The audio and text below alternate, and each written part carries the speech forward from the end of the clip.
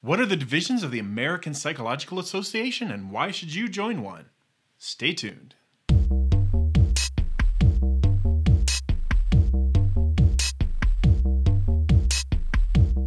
Before we get started, take a minute to subscribe to Psy vs. Psy, help out your friendly neighborhood psychologist while I tell you about the APA's divisions. The American Psychological Association is the professional organization and governing body for psychologists in the United States. It is not to be confused with the American Psychiatric Association, which is a totally different and independent organization, nor should it be confused with Astronaut Pirates Anonymous, which I totally made up. The APA performs a number of important functions. It sets the requirements for and accredits clinical psychology graduate programs. It establishes the ethical guidelines by which psychologists must abide. It serves as a repository of expertise on human behavior to help guide important policy decisions at state and federal levels and it advocates to lawmakers about all kinds of issues related to psychology, from securing federal funding for psychology education programs to providing guidelines on ethical animal research. The APA does a lot of good for psychologists, but also for the communities they serve. When most people think about psychology, they tend to think of clinicians.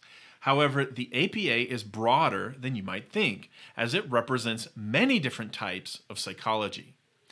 Because the interest areas in psychology are so broad, the APA has sub organizations within it called divisions. You can think of the APA as similar to the US federal government, whereas divisions are like the states. Or the APA is like the European Union, and the divisions are like member countries. The difference, though, is that I, as a psychologist, can belong to multiple divisions that represent and support my interests.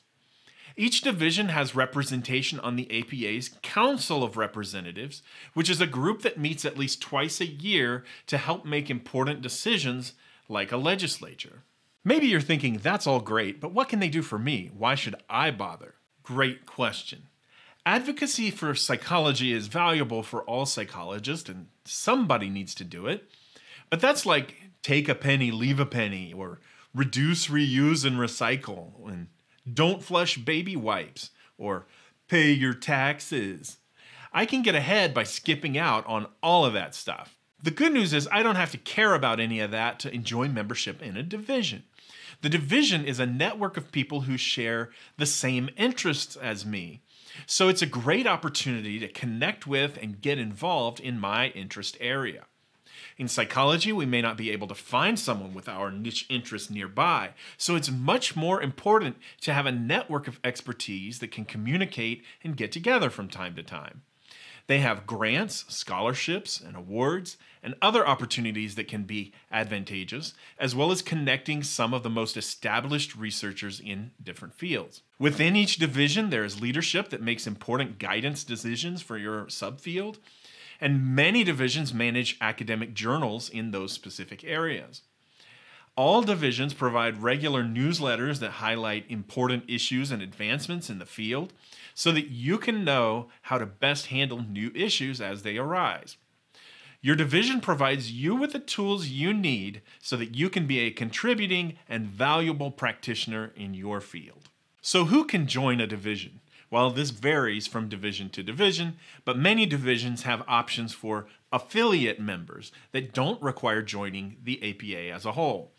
Most divisions have options with reduced membership fees for students, sometimes it's even free, and some offer a first year free. Okay, enough about all of that. Let's take a look at the divisions themselves. There are a lot of them, 54 in total, but that number has fluctuated over the years as divisions have merged and new ones have formed. We can't look at all of them right now, but the good news is they each have their own website, so you can look at the list of divisions on the APA's website at apa.org and select the ones that interest you to learn more. I want to highlight that there are many divisions concerned with clinical practice, such as Division 40, Society for Clinical Neuropsychology, and Division 53, Clinical Child and Adolescent Psychology. But there are also divisions devoted to experimental psychology, such as Division 3, Experimental Psychology and Cognitive Science, and my favorite, Division 6, comparative psychology, and behavioral neuroscience. There are divisions focused on specific careers in psychology, such as 16, school psychology, and 19, military psychology.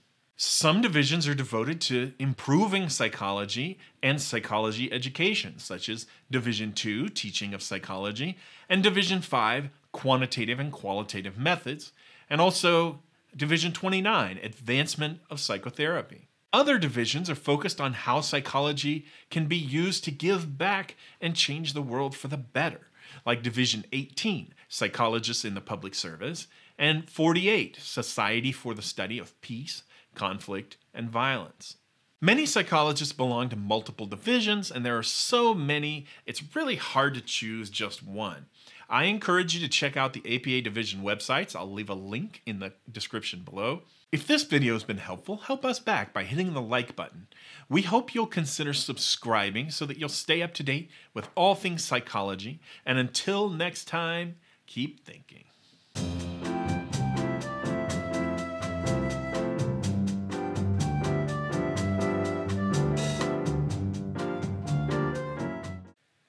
Case the government is watching, I leave pennies all over town.